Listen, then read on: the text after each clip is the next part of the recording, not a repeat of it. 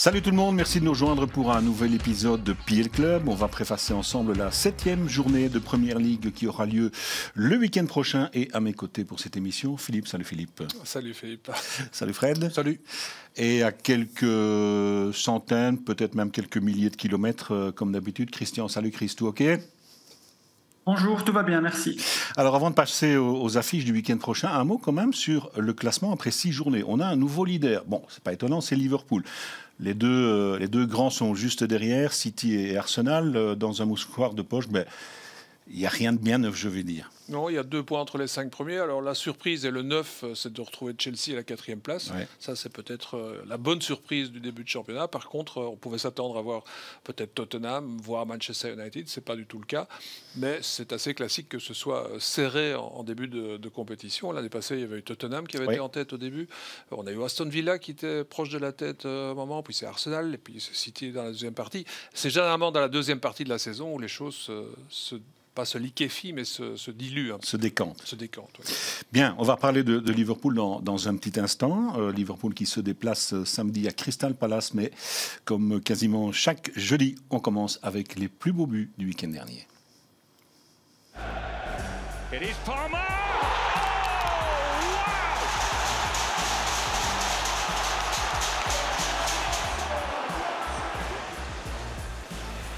Risky ball there. Ashley Young for Dwight McNeil. McNeil! What a goal! Magnificent! And Didi. Oh, it's beautifully done. That is magnificent from James Justin. Oh, what a sensational goal.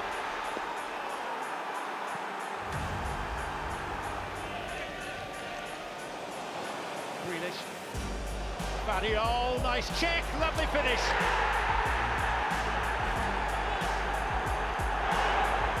There's a gulf at the moment between the two sides. Semenyo. Still going. Oh! That gulf has just got very much wider. That is his party piece.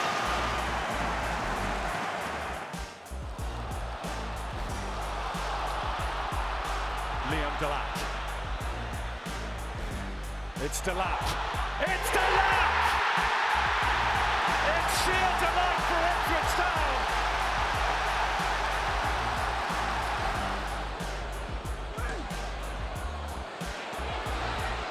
West Ham struggling to get out of Boom, they've done it again! Another goal inside the opening minute. How do they keep doing it? Exploit individuel, euh, but sur combinaison, beaucoup de spectacles, beaucoup d'émotions. On a marqué 34 buts euh, ce week-end. Fred, euh, on ne s'est pas ennuyé. Bon, on s'ennuie rarement en première ligue. En fait. on s'ennuie rarement, mais je pense qu'il y a un gros changement. Par rapport aux trois promus de la saison dernière, les trois promus de cette année participent à ce spectacle. On a vu les trois promus. Il y a leur joueur qui a marqué un des plus beaux buts du week-end. Et ça, c'est le symbole de la qualité de la première ligue on peut s'offrir des, finisseurs, c'est ça qui fait que c'est le meilleur championnat du monde. Mhm. Euh, on est encore au début de saison, évidemment, mais jusqu'à présent, euh, c'est le week-end le plus prolifique en termes de, buts, pourvu que ça dure, hein, qu'on aille euh, crescendo. Christian, vous qui décortiquez les buts de chaque journée, vous nous confirmez beaucoup plus de buts aussi, en tout cas plus de buts sur phase arrêtée le week-end dernier? Oui, on avait euh, observé en début de saison beaucoup de buts sur des reconversions rapides, presque 1 sur 4, mais très peu sur phase arrêtée, pratiquement 15% seulement.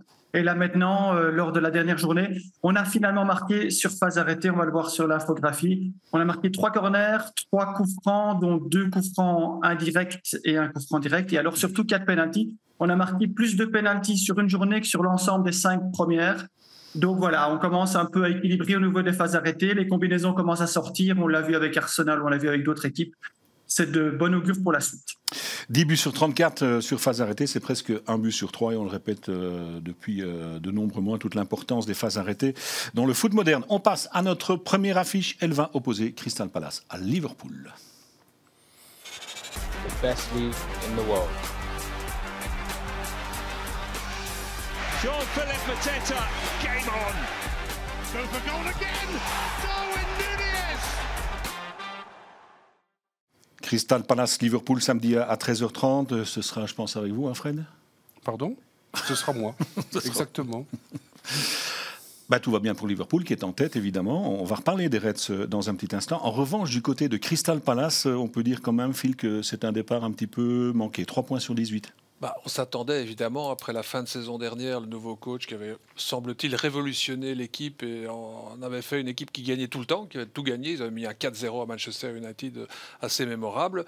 Et là, ils en sont au même niveau que Leicester, c'est-à-dire pas de victoire, 3 points pris sur 3 matchs nuls. Pour une équipe qui avait l'ambition de jouer l'Europe, euh, c'est plus qu'une catastrophe. C'est inexplicable, sauf peut-être à penser que bah, les joueurs importants sont partis, d'autres qui sont arrivés ne sont pas encore totalement euh, dans, le rythme.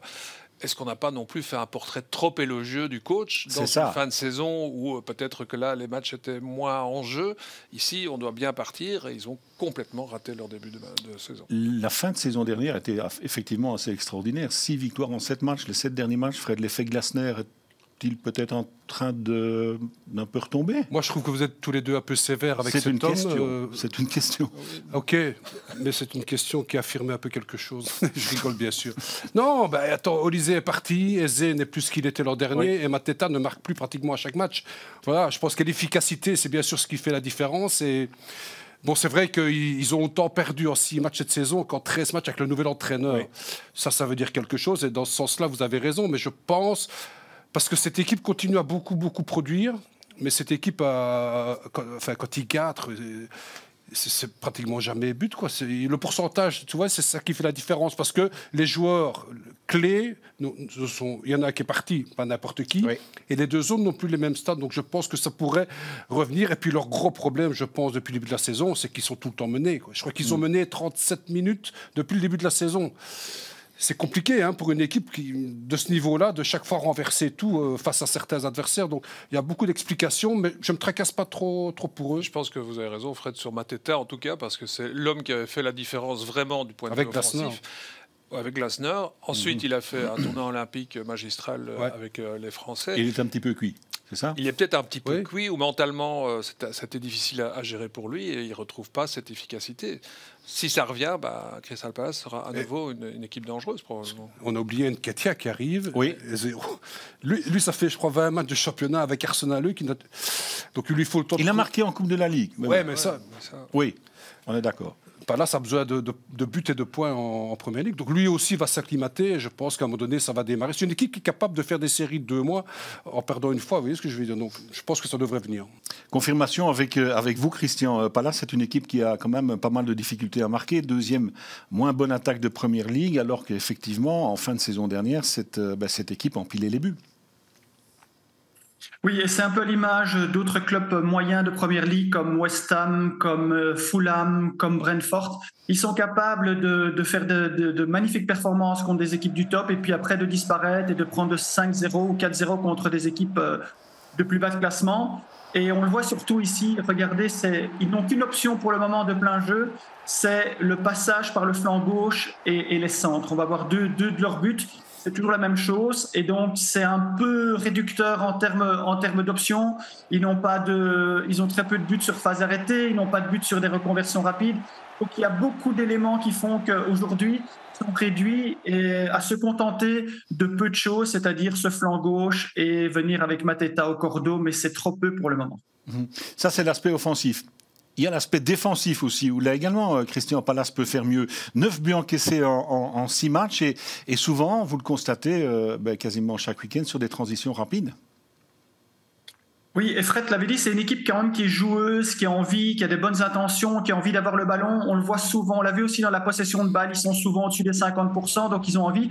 Malheureusement, ils sont sujets à des reconversions rapides. Alors c'est bien d'aller jouer dans le camp de l'adversaire, mais on le voit cette saison, il y a beaucoup, beaucoup partout des buts sur reconversion rapide.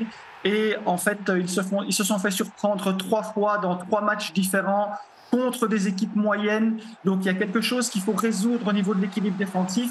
Ça ne peut pas partir d'aussi loin, aussi facilement et arriver à une conclusion aussi facile pour euh, l'adversaire.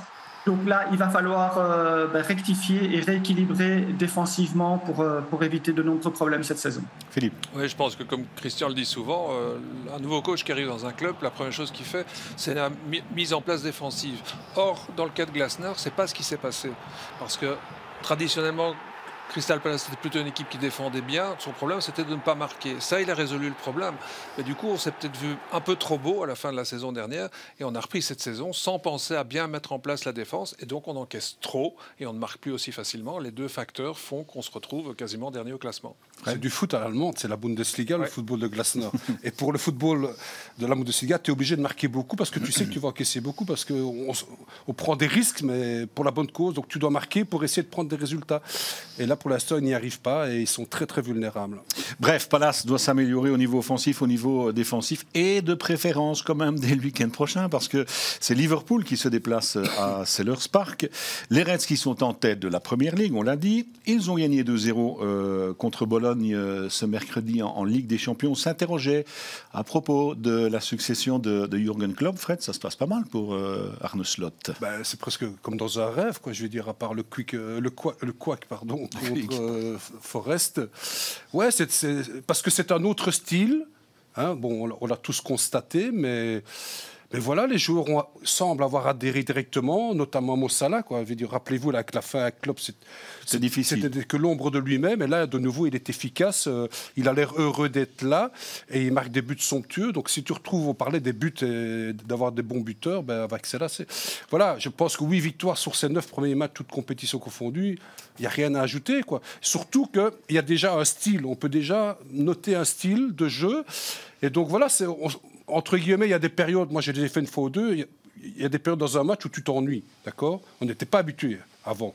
Mais à la fin, le résultat est là. Et quand il y a des fulgurances, vous savez, le football, les changements de rythme individuel ou collectif, c'est ça qui fait la différence. Et bien avec Slot, on a ça. On a des moments de possession qu'on ne le reconnaissait pas. Et puis boum, à la fin, c'est quand même eux qui gagnent. Donc je trouve que c'est très très positif parce que succéder à Klopp, pas simple. C'est pas simple. Cela dit, lors de la défaite, j'avais commenté le match face à, Nottingham Forest. Ce qui a été frappant, c'est que ils n'ont pas su trouver de solution face au système organisé de Nottingham. Et quand le but a été marqué, ils n'ont pas su trouver une autre façon de marquer. Mhm. Je pense que Christian va parler de cet aspect-là du jeu offensif après. Et ça, c'est peut-être une inquiétude. Cela dit, la réaction, c'est 5 victoires, 2 en championnat, une en Coupe de la Ligue, West Ham 5-1, et surtout deux victoires contre des clubs italiens en Ligue des Champions, à Milan et à domicile face à Bologne. Ça, c'est plutôt bon signe. Mais attention au moment où on ne va pas trouver la solution, parce que là, il faudra avoir des plans B. Et euh, je crois que Crystal Palace, ce déplacement, ça, c'est intéressant à voir, parce que c'est une équipe qui est, qui est pas à l'agonie, mais qui a besoin de, besoin de points. de points et de résister. Donc, il faudra sans doute euh, s'employer pour trouver d'autres moyens de marquer face à eux. Et surtout, Palace adore jouer contre Liverpool. Hein. Vous savez qu'à part West Ham, c'est l'équipe contre laquelle Palace a le plus marqué en première ligue. Et comme Liverpool adore également jouer contre Palace, soyez tous là parce qu'on va bien s'amuser, on va avoir des buts. on l'espère, on l'espère. Bien, euh, à part le petit accro euh, face à Nottingham Forest, euh, on, l'a dit, donc rien que des victoires, Christian, pour, pour les Reds. Cela dit, vous nous dites aussi qu'il faut un peu relativiser le bilan de Liverpool par rapport au, programme jusqu'à présent. Oui, c'est un départ de rêve chiffré, mais maintenant, en fait, les choses sérieuses vont commencer parce que, on va le voir sur l'infographie, ils n'ont en fait joué que du bottom 10 donc, ils ont gagné que contre les dix derniers du hmm. classement. Ils n'ont pas encore eu un match contre les équipes du top. Et le seul qui était dans le top, dans le top 10, c'était Nottingham Forest et ils ont perdu. Donc, il faut faire attention. Euh, évidemment, c'est vrai, le système de jeu, on va le voir dans, dans la séquence suivante, le système de jeu est, est assez intéressant parce que parce qu'on va passer euh, à, quelque chose d'un peu. On, on, a favorisé plutôt un plan B plutôt qu'un plan A. Mais voilà, eh bien, on peut, on peut rester avec vous, Christian, ou, alors Fred ou, Phil euh, on quelque chose encore à dire. Bologne a tiré 12 fois. Hein. Oui. C'est beaucoup, non? Il joue à domicile, Liverpool. Donc euh, voilà, attention, attention. ça peut très vite, euh, au niveau de l'équilibre avec et sans ballon, une équipe qui en Coupe d'Europe vient tirer 12 fois à Liverpool, il n'y en a pas beaucoup, je crois. Donc, oui. En contre Nottingham, c'est ce qui m'a frappé, c'est qu'à partir du moment où ils ne trouvent pas la solution, ils paraissent tout d'un coup fragiles. Et il y a des, expressions entre les joueurs, il y a des choses qui ne se passent pas bien. Et ça a été le cas jusqu'au bout du match. Ça, on n'avait pas l'habitude avec Liverpool non plus, parce que Liverpool était une équipe capable de renverser toutes les situations, même quand elle était largement menée. Donc c'est bien du côté des Reds, mais attention, il faut confirmer, et on verra l'évolution euh, tout au long de, de la saison. Liverpool, Christian a marqué 12 buts en première ligue, c'est simple, c'est deux buts par match en moyenne. Ils marquent comment les Reds depuis le début de la saison? Alors, on, avait expliqué euh, par rapport à la saison passée que les équipes du top, pour être champion et pour jouer le, top 3, il faut évidemment être bon dans, pratiquement tous les domaines, mais il faut avoir une option de luxe. Et l'option de luxe pour Arsenal, par exemple, c'était les phases arrêtées, le travail, les, les combinaisons travaillées. Pour Manchester City, c'était les tirs au rectangle. Et puis, si on observe le plan de jeu de Liverpool, regardez son infographie, ils ont un plan A, mais ils n'ont pas d'option de luxe. C'est-à-dire qu'ils n'ont qu'un but sur jeu dominant placé, alors que pratiquement toutes les équipes marquent 45% de leurs buts comme ça. Ils n'ont pas de but sur tir rectangle, ils n'ont pas de but sur phase arrêtée sans penalty, ils n'ont pas de but au-delà de la 70e minute, et ils n'ont pas de but sur une deuxième chance. Par contre, on le voit en vert, ils ont 7 buts sur face à face, et ça confirme ce que Frédéric expliquait, c'est que c'est un autre système de jeu, c'est un autre style de jeu, ça va très vite, c'est dans la profondeur, il y a des transitions qui sont hyper rapides et alors d'une efficacité incroyable. On, avait les trois fantastiques, on, les retrouve, mais avec, avec d'autres joueurs, puisque Firmino et, et Mané ne sont plus là, mais il y a, Jota et, euh, et Nunes qui sont là. Ça va vite. Euh, Luis Diaz adore ce système de jeu. Il a des contrôles orientés exceptionnels dans les transitions. Il permet de marquer des buts sur des face-à-face comme ça. Et donc maintenant, il faut voir quand ce face-à-face et cette option A, ce plan A ne fonctionne pas, est-ce qu'ils vont trouver l'alternative? Ça, on le verra dans, dans les prochaines semaines. On peut leur faire confiance aussi, ils ont quand même tellement de talent. Ben oui, c'est ça. Vous savez qu'en déplacement, un tir sur, cadré sur deux va au fond. Quand on parlait de, stars, de grands buteurs, Salah s'est réveillé. Diaz, c'est vrai qu'il adore ce contexte. C'est pour ça d'ailleurs que Nunes, pour l'instant, n'a pas droit au chapitre, outre le fait qu'il a beaucoup joué, bien sûr, durant, durant l'été. Mais quand ça va coincer, c'est vrai que ça peut poser problème. Mais c'est pour ça que vous payez aussi cher ces joueurs, quoi. Ils ont un talent extraordinaire. Et l'autre différence par rapport à la saison passée, c'est que très très souvent ils encaissaient le premier but la saison dernière. Mhm. Après ils retournaient la situation. Ici, c'est d'arriver qu'une fois. Ils ont perdu. Ah bah oui, face à Forest. Voilà, ils encaissent très très peu, donc on a réglé défensivement ce problème de prendre des buts trop vite. Euh, mais en même temps, une fois qu'on l'a pris, bah, il n'y a plus la réaction qu'il y avait avant. Donc ça, c'est vraiment une transformation euh, qui est en train de se faire. Il faut voir sur la durée si on peut confirmer ce genre d'impression, de, de statistiques. Les Reds, en tout cas, sont dans une bonne euh, dynamique, à confirmer évidemment samedi à Sellers Park. Autre affiche du week-end, belle affiche, hein, entre Aston Villa et Manchester United. We are Premier League. Lovely ball in and comes up. Well, the picture provides some much needed inspiration for Manchester United.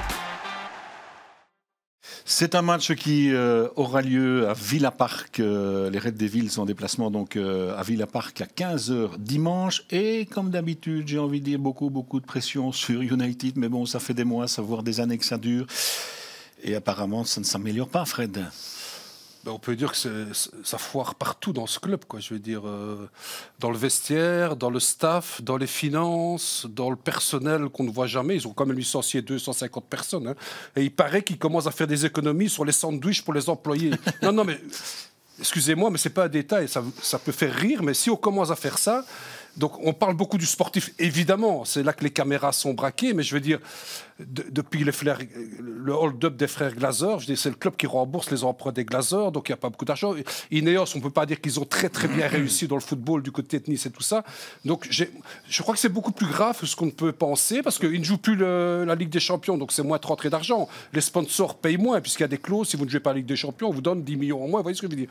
Et un entraîneur qui, vous savez, je l'ai longtemps défendu, Mhm. Mais là, ça devient vraiment n'importe quoi. Pourquoi? Parce que je trouve que cet été, il n'a pas acheté ce qu'il voulait. Encore des jours de l'Ajax.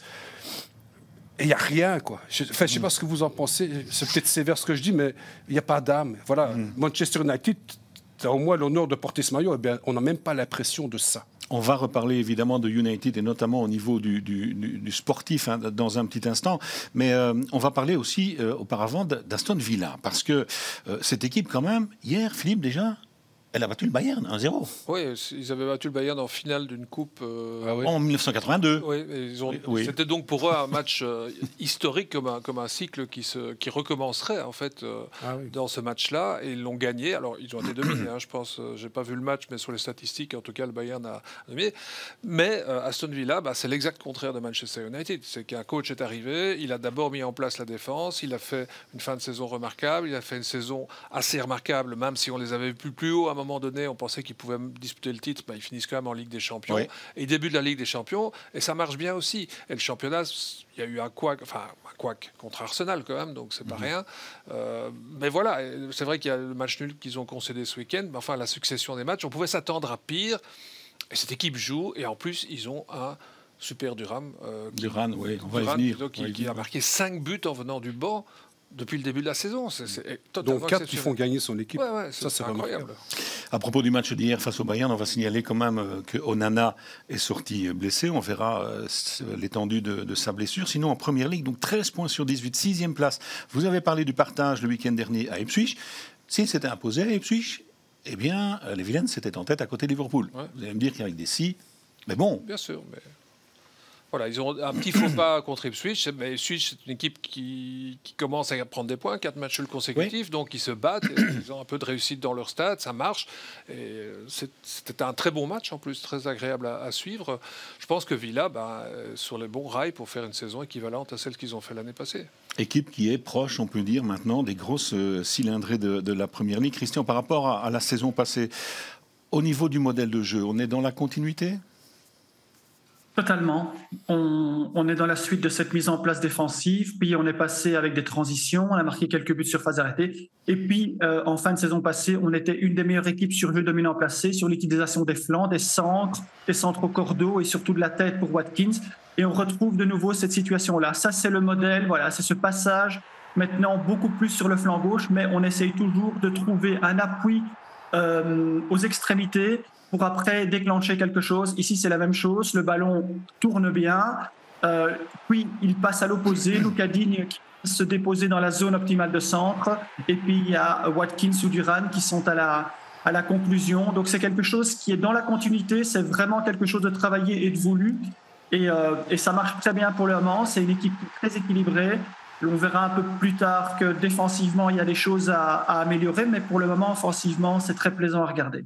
Vous avez parlé du super sub, hein, Duran, c'est extraordinaire ce qu'il fait en euh, sortant euh, du banc. Bon, bah, il y a Watkins qui a eu un début de saison peut-être un petit peu difficile, mais qui retrouve quand même des sensations. Il y a Rogers aussi, hein, qui apporte beaucoup.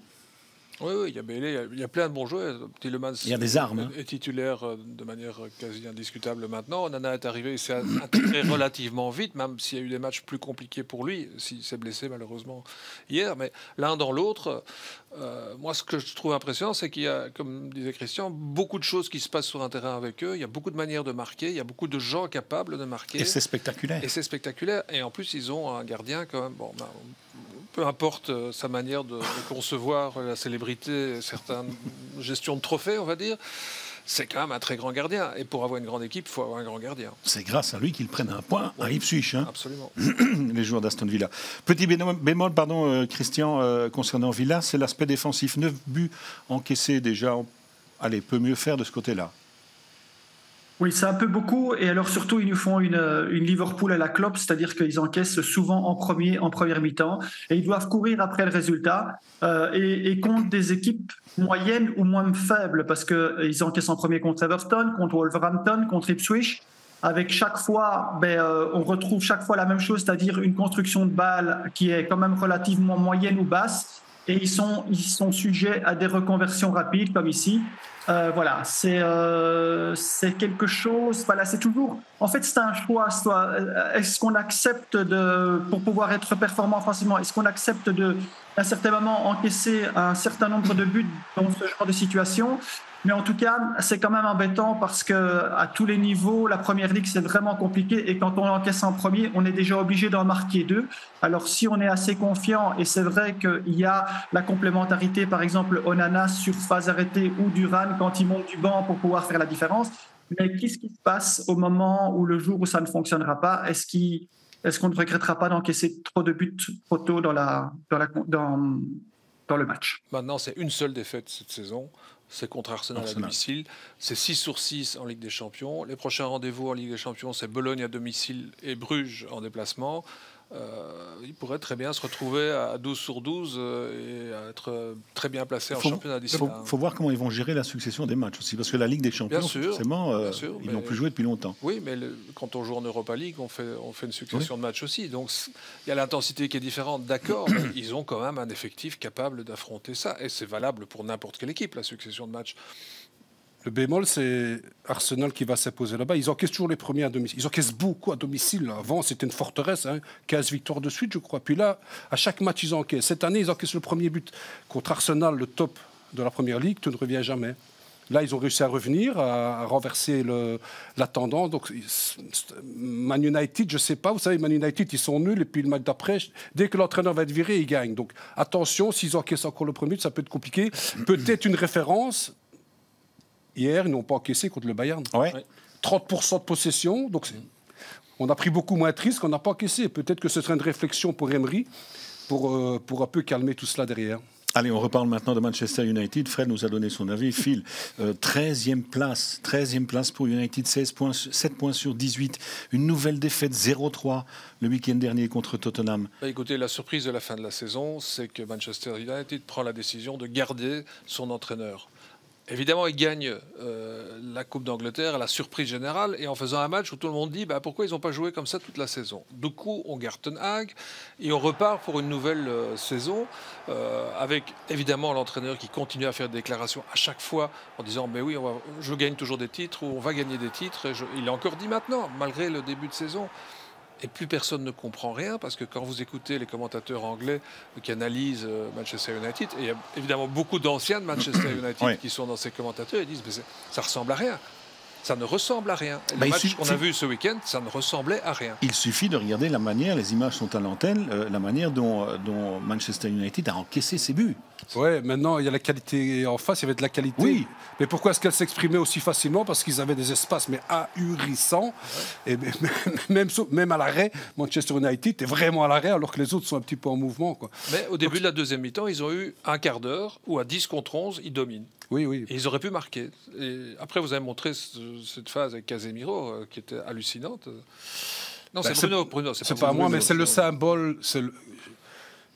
Enfin, on a l'impression que Casemiro s'emmerde à Manchester United depuis qu'il est arrivé. Donc, quand les résultats suivent, ça va, c'est un peu masqué, mais voilà. Alors que ce mec-là doit être un moteur, doit être un taulier. C'était un mec. Un patron. Au Real qui voulait tout gagner, qui était, le, qui était vraiment l'homme qu'on suivait dans, dans, tous les défis, dans tous les traquenards. Et là, eh ben, même lui, on a l'impression que même lui, voilà, c'est une gestion incroyable. Je pense que les transferts aussi, ou Garté, comment est-ce qu'ils ont mis? 50 millions? Qu'est-ce que c'est que ce truc? Et pourquoi laisser partir On avait déjà, Anthony, c'était déjà l'arnaque du siècle.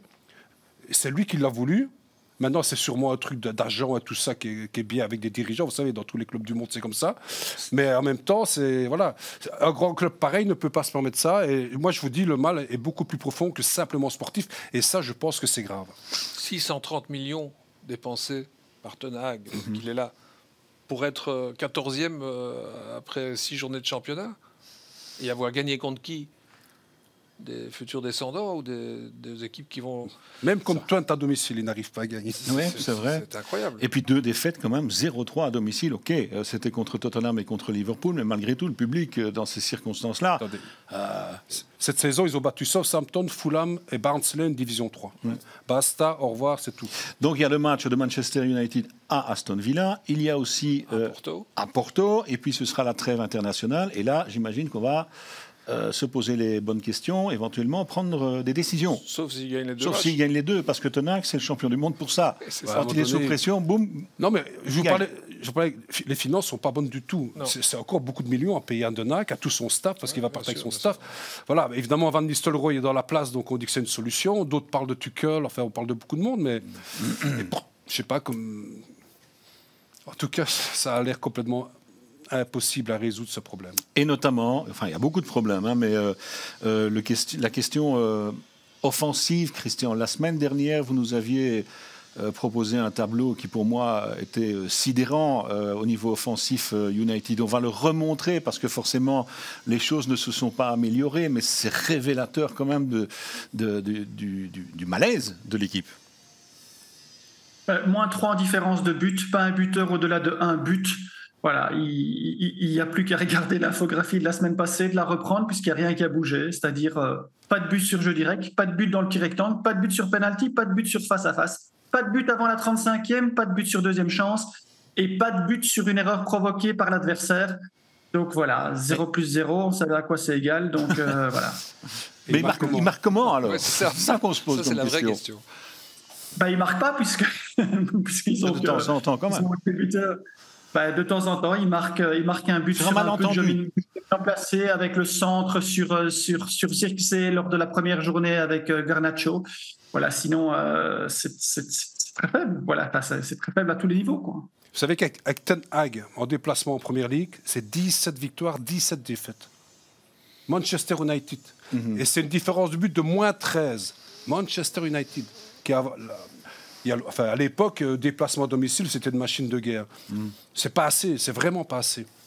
Bon, ben on verra si cette équipe de United va parvenir à, se ressaisir. Il, est temps déjà de se ressaisir parce que l'écart se creuse euh, déjà avec euh, le, top 4, 13e position, donc on le rappelle pour United. Voici. Nag a dit qu'il était convaincu qu'il allait gagner des titres avec Manchester cette saison. Donc il n'y a pas de quoi s'inquiéter en fait. Non, non, on verra au décompte final. Euh, on arrive tout doucement à la fin de cette émission. Voici euh, toutes les rencontres de cette septième journée que nous vous proposons bien entendu sur nos antennes Palace Liverpool. On en a parlé, ce sera avec Fred. Goals of the Day, nous serons à deux fils. Oui. Avec comme match fil rouge? Manchester City, Fulham. Ils se sont bien repris en Ligue des Champions. On va voir euh, comment ils se reprennent en championnat, puisqu'ils ont quand même eu trois matchs nuls avant cette victoire qu'ils ont obtenue assez facilement.